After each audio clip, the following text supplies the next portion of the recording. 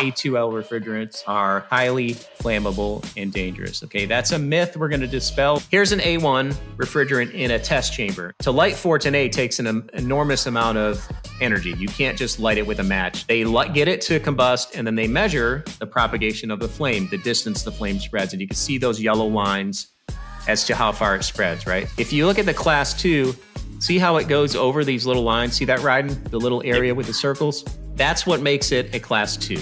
Okay, that little difference in flame spreads. So that's propane, right? Like that to me is something that's flammable. Okay, and if you look at all three of these together, you can see there's a, the class one and the 2L, barely any difference than the class three. Uh, what do you think about that, Ryan? Trying to do you know the same kind of research on the residential side because that's where a lot of these guys are scared of all the different things they're seeing and hearing. I think at this point it's just I think guys are going to have to start actually working on it to realize it's a lot safer than their their fears. Are.